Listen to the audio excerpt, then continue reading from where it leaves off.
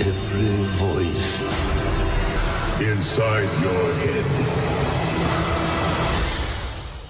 Hallöchen Freunde, hier ist wieder euer Nerdverse, zurück mit einem neuen Star Wars Video. Wir kennen die Sith meist als das mysteriöse, im Schatten lauernde Böse, das mit viel Geduld und Strategie die Herrschaft über die Galaxis erlangte. So ist es jedenfalls in dem Film des Kanons, jedoch sieht das in Legends mal ganz anders aus, besonders in der alten Republik. Dort tobte nämlich ein heftiger Krieg zwischen dem Jedi-Orden und dem damaligen großen Sith-Imperium, aber anders als zur Zeit des galaktischen Imperiums von Chief Palpatine gab es zur Zeit der Sith-Kriege beinahe so viele Sith Sith wie Jedi, also quasi hunderte machtgierige Krieger auf einem Haufen. Viele von ihnen wollten selbst die Herrschaft an sich reißen und den damaligen Sith-Imperator Vakorian stürzen. Jedoch gab es drei Sith, die erkannten, dass Teambuilding ebenfalls eine sehr große Rolle für siegreiche Schlachten spielen kann.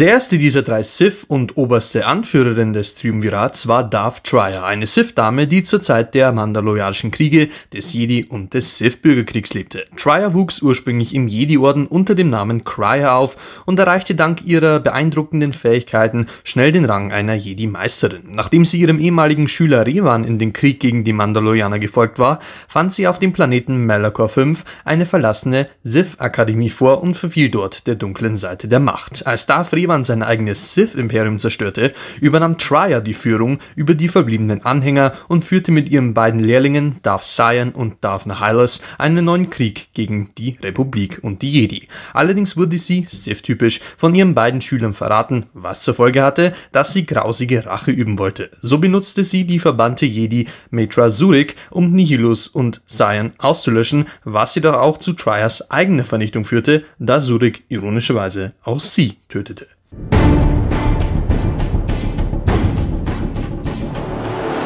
Neben Darth Revan ist Darth Nihilus der vermutlich beliebteste und bekannteste Sith Lord aus Knights of the Old Republic. Nihilus war ein menschlicher Sith, der über eine einzigartige Machtfähigkeit verfügte.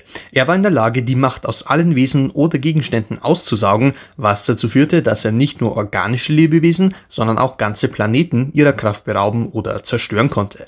Anders als die meisten Sith sprach Nihilus eine uralte Sprache. Da diese Sith-Sprache längst in Vergessenheit geraten war, konnten andere Machtnutzer mit ihm nur per Gedankenübertragung kommunizieren. Da Nihilus wegen seinem stetigen Machthunger eine endlos wirkende Spur der Verwüstung durch die Galaxis zog, galt er zu Recht als einer der gefährlichsten, gefürchtetsten und stärksten Machtnutzern aller Zeiten.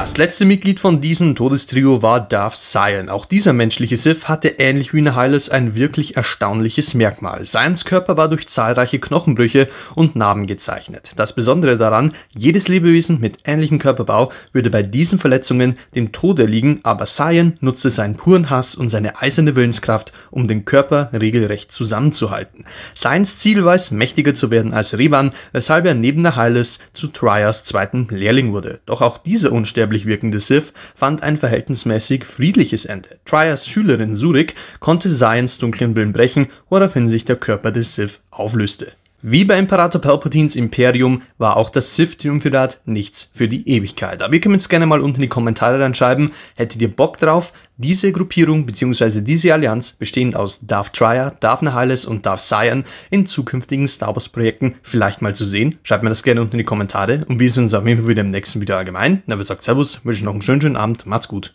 und bis dann.